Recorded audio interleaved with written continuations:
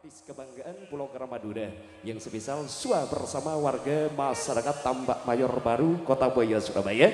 Bersama ABM Nada dan juga ada Opik Production.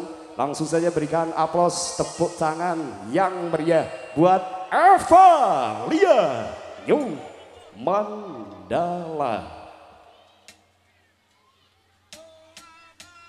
Thank you.